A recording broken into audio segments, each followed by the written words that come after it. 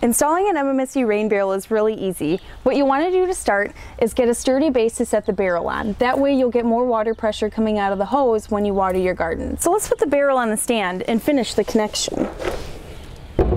What you'll want to do is you'll want to look for this hole on the back of your barrel and see where it meets up with your downspout.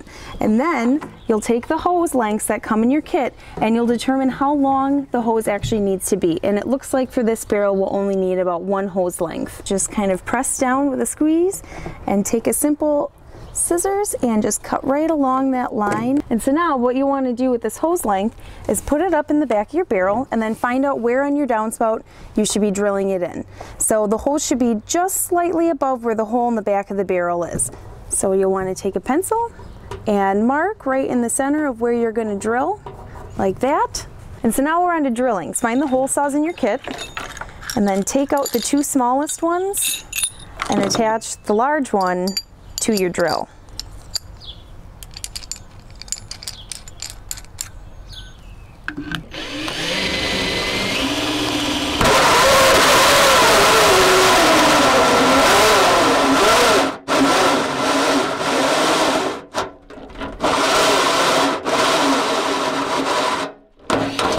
This is the diverter piece, and so you notice it has this lip on it right here. And when it's turned this way inside of your downspout, the slip will catch the rainwater and it'll come through these holes in the back and feed through the hose into your barrel.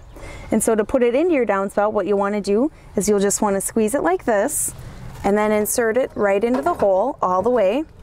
And you may have to jiggle it a few times to get it all the way in there. And once you get it all the way in, just like that, you'll take two of the screws in the kit and you will secure them right onto your downspout. For our last step, what we're gonna do is we're gonna take our barrel, we're gonna put it back on the stand, and then we will grab the hose in the back here, stick it right into our diverter piece that's in our downspout, adjust our barrel into the front, and then you're all set to go.